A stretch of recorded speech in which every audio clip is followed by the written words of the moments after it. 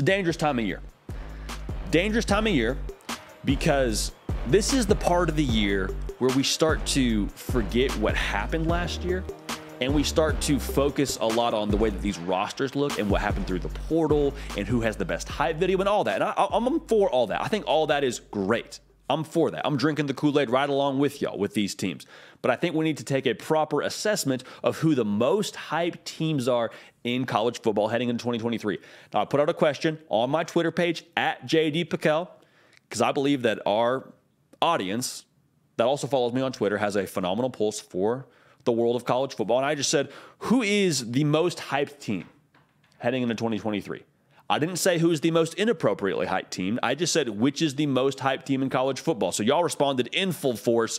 A lot of these that you responded with, we match up on, but that's another benefit to follow me on Twitter. So listen, we're just going to jump right into this. There's no way around it. This was the number one response that we got on my Twitter page, and that is the University of Texas at Austin is, for my money, right up there with the number one and number two hype team in the country. And Texas fans, y'all aren't any strangers to this. You understand how this works. There is a certain prestige around that Longhorn logo. There just is, man. There's a certain expectation that comes with being the school in the state. You're a school that's known by the state. It's not University of Texas at Austin. They just call you Texas, and you know who you're talking about. A lot of schools in Texas, but you're referred to as Texas. The branding itself carries some weight with it. So that's the expectation, that's the hype that's always going to be there. But the reason why there's extra hype this year is because you look at the roster. This is the best roster you've had on campus now in a hot minute. This is a culture now going into year three. This is a quarterback that is probably the most talented quarterback you've had on campus since Colt McCoy there's all these things that come together that combine with the fact that the conference itself, I think, is pretty wide open. A lot of people picking Texas to win the Big 12 in 2023 before they head out to the SEC. There's a lot that pieces together really well on this roster. And so the people that are saying Texas is hyped for the wrong reasons, I would say, one, you're wrong. But I would say, two, I understand where you're coming from. Because for people that oppose the Texas hype, they're saying it's boy that cried wolf. That's what they're feeling. Boy, that cried wolf vibes is how you would explain the opposition to Texas. Because people are saying, well, yeah, Texas has always been talented. They've always been supposed to win that conference. They've always recruited the best, but when does it ever come together? For reasons I just said the culture, the head coach, the potential at quarterback, and all the skill positions that are a proven commodity now at Texas, I think are reason to be excited. So I'll just say this the hype around Texas is warranted, it's also unavoidable. But this is the year for the good folks in Austin where you're expecting now some return on investment. Last thing I'll say about Texas, you put in so much investment wise. Now is the time, now is the year rather, in year three, where you expect to get back some on that investment in the form of wins. All right, next, next school we got to talk about here. We look no further than Tallahassee, Florida. The Florida State Seminoles were another one of the top responses that we got in regards to the most hyped teams in college football. We'll talk about that in a second. Make sure you're subscribed right here. We talk ball every single day. Y'all are junkies for the sport just like I am. We're talking about it in May. You're watching a video about it in May. You're watching a live show about it in May. So, one, thank you. Two, if you haven't yet joined the community, we'd love to have you a part of this. All right. So, thank you in advance for that. As we were saying, FSU, enormous hype. Enormous hype. Everybody and their mother is talking about Florida State being like a, a, playoff dark horse. That's kind of the term, right? Right? You know, this time of year, you want to talk about dark horses. We did it on this show a couple of days ago. When you're everybody's dark horse pick, are you really a dark horse? Right? Are you, are you really a dark horse to play for a national title if everybody has you penciled in in that like third spot? you know, it's a whole conversation. But with Florida State, the excitement comes with you have the most returning production in the entire country, and then you went through the portal and got some other guys. Fentrell Cypress, all ACC corner. Jaheim Bell, a tight end from the SEC. He's listed as a tight end. He played everything for South Carolina last year. You look at Jordan Travis and the, the, season he had last year. You look up and down this roster, and same thing we talked about with Texas. They've built to this now at Florida State.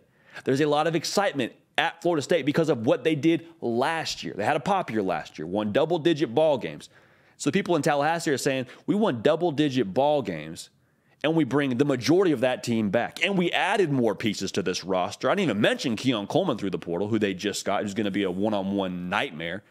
It's all sort of lining up for Florida State right here. From the roster perspective, from the culture perspective, from the ACC, like Florida State is now feeling like they should win the ACC, not they can win the ACC. The people in Tallahassee feel like they should win the ACC. So you win the ACC, you win the ACC with one loss. Potentially that one loss comes against LSU in week one. And even the people in Florida State right now are saying, What are you talking about? We're not losing any games this year. Hey, we'll see. I'm excited about it. I'm not picking Florida State to, to lose. I'm just saying you could drop that first game and still potentially finish with one loss, be in the college football playoff, Florida State. The hype is real. I think it's fair, it's fair hype to have about Florida State right now. And there's a reason why the juice around Florida State is the way that it is right now. So Florida State, another team that is receiving a lot of hype that I believe is warranted. Now let's uh, let's go ahead and move our way out to Big Ten country, and I want to hang out here for a second. The Michigan Wolverines are one of the most hyped teams in the country. Now, hype kind of has a negative connotation to it, and the connotation is, well, when you say hype, that means they haven't done anything yet. No, no, no, no. I just mean there's excitement when I say hype around Michigan. Michigan has done a whole heck of a lot now. You look at that resume, back to back Big Big Ten champs, back to back victors in the most important game of the regular season for them against Ohio State in convincing fashion, might I add, and a lot of pieces back. Blake Corum said run that back one more year. JJ McCarthy, another year as a starter. Donovan Edwards, pieces on defense, continuity at the coordinator position now with Sherrone Moore fully taking over the offense.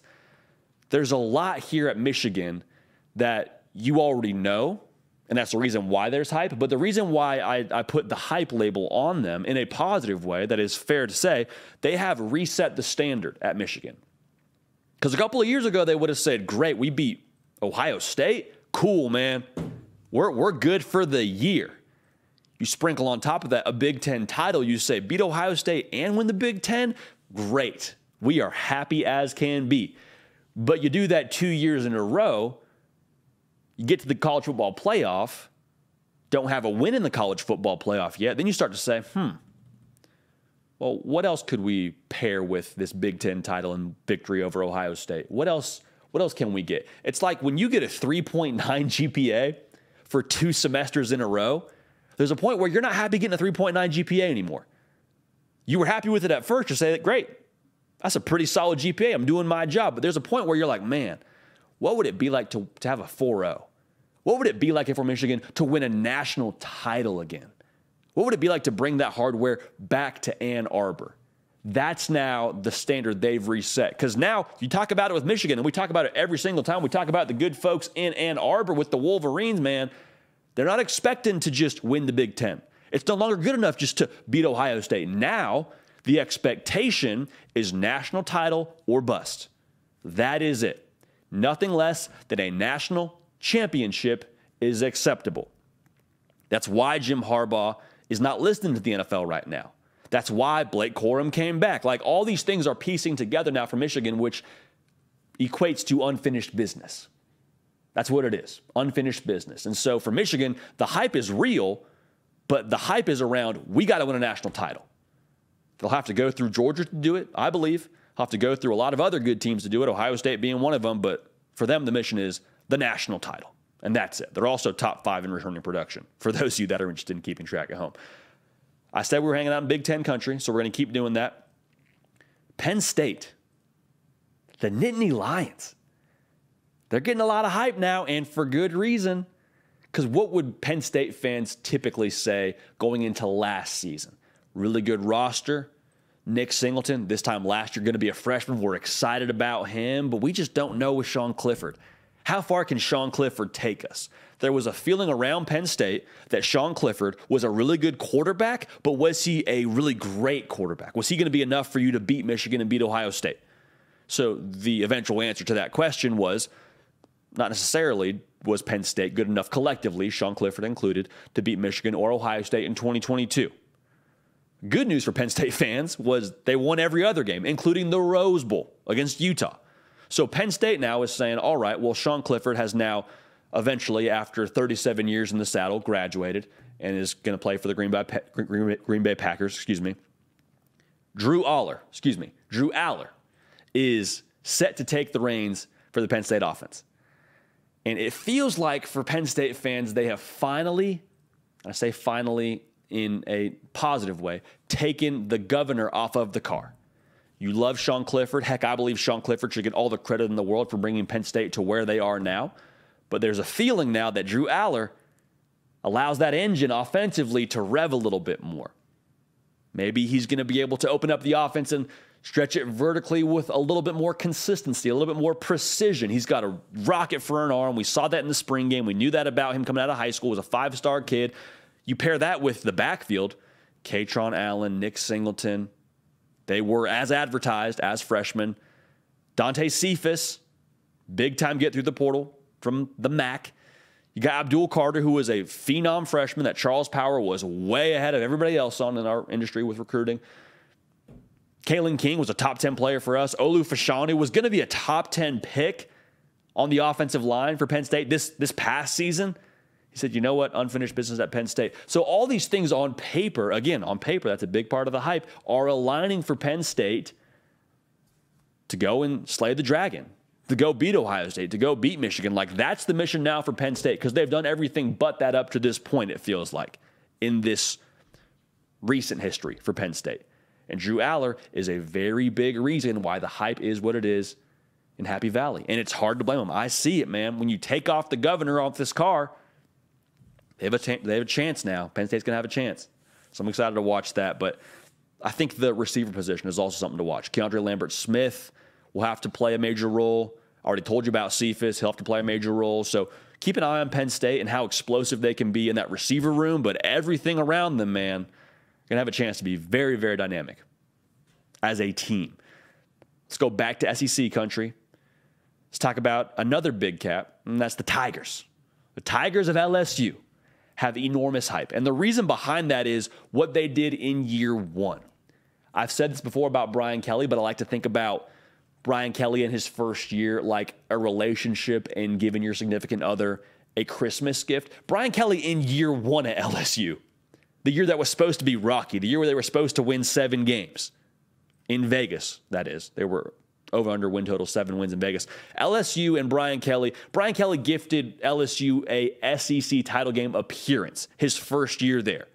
You gave your significant other a car, your first Christmas together. So you and I both know this now. That second Christmas, there's going to be a lot of hype around it now. You've been together for about two years now. There's been some time there's there's been some more development in this relationship. There's been some more development in LSU as a team. If you got a car year one, hey, what you getting me year two?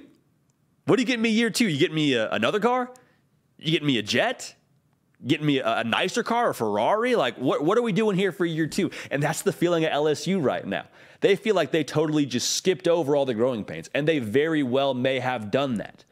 But that's the reason why there's the hype big pieces coming back. Jayden Daniels at quarterback being one of them. Harold Perkins, super sophomore. I think one of the best, if not the best, defensive player in the country. They went and got Logan Diggs out of the portal. Like they, they got some pieces now.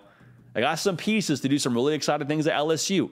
A lot of it's on paper. They'll have to go through Bama to win that side of the SEC. But for LSU, they're like, if we got a car in year one, what you getting us in year two? What are we going to do in year two? So that's why there's excitement. That's why there's hype. And for LSU, it's all warranted. I don't say hype in a negative way, but the hype is absolutely palpable in Baton Rouge. Now, last thing I want to talk about here, we're going to fly out to the West Coast, and I want to talk about a team that is also thrown around when people talk about dark horses winning Power Five conferences and this, that, and the other. The Washington Huskies. I don't know if we realize this. They won 11 games in 2022. Kalen DeBoer has the boys rolling. Michael Penix Jr., everybody pretty much forgot about after he got hurt at Indiana. He, I believe, led the country or was top two in the country in pass yards last year at Washington. And he's back. And their OC, Bama wanted to talk to him. He's back. There's a lot at Washington that feels like it's lined up perfectly. Not just with Michael Penix Jr., not just with where the roster's at, top 25 in returning production, by the way. But also look at the schedule. A lot of these big games kind of line up nicely for Washington. They get Oregon at home. They get Utah at home. Now they go to USC, but guess when they play USC? They play USC the week before USC plays Oregon. That's got a big red flashing light that says, look ahead spot, look ahead spot. They're vulnerable. For Washington, they're going to have a chance to make some noise in that Pac 12 conference. There are a lot of people's sneaky pick to be a dark horse for the college football playoff. Here's the wild thing, too that wouldn't be Washington's first time making the college football playoff. But for Washington, it's all lined up. The excitement is real. And I would love to see Washington, quite frankly, be a team that's in that playoff conversation come November because that would just be fun for the sport, man. But Washington, a lot of juice, a lot of hype, right up there. Texas, Florida State, Michigan, Penn State, LSU, all riding the hype train, all warranted hype. And that's the beautiful part about May and the college football calendar. We get to just soak it up. Hey, y'all, thanks so much for watching. Subscribe to the channel here to make sure you don't miss an episode of The Hard Count. Also, be sure to check out other videos on the On3 YouTube channel.